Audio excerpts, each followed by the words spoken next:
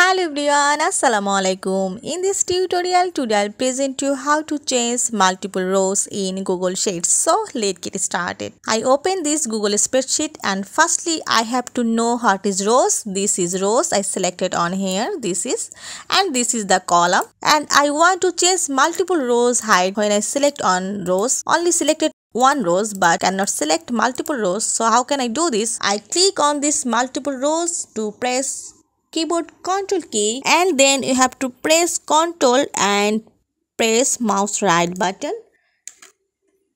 Then find here resize selected rows. Now specify rows height. You have to specify in rows height.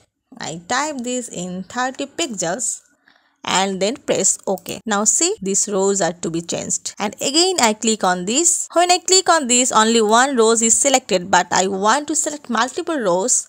I press Ctrl to select this and also press Ctrl and then click mouse right button and go here resize selected rows and then type the pixels 60 and then press OK.